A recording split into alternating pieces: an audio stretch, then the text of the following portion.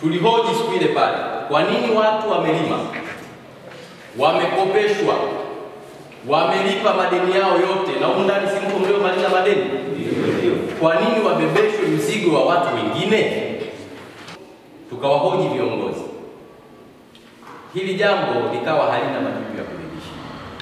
Uzuri au ubaya, mwenyekiti, makamu, haya malipo hawayajui, na wao wanashangaa.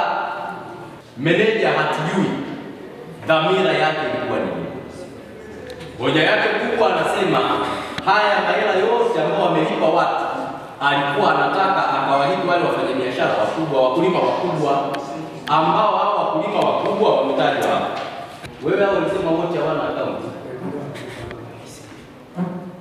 hao wote ulisema hawana akaunti kikao, si ndicho nilichokwambia? Ila hawa wote wanaonekana wana akaunti hapa na wanasema hamkukubaliana hicho ambacho wewe umetueleza. Wewe umetueleza kwamba hawa watu wanaingiza fedha kwako ili wewe ukawalipe, ndio makubaliano yako, ndicho ulichosema. Mbona wanasema sio kweli? Hatuwezi kuumiza watu wengi kwa sababu ya tamaa ya watu wachache.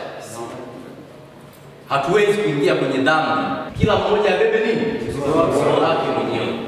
Makampuni yanaleta fedha, yanaingiza kwenye chama cha ushirika, hela inatolewa, inaingizwa kwa meneja.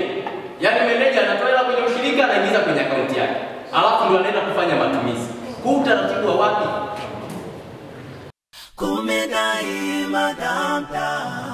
Azam TV, burudani kwa wote.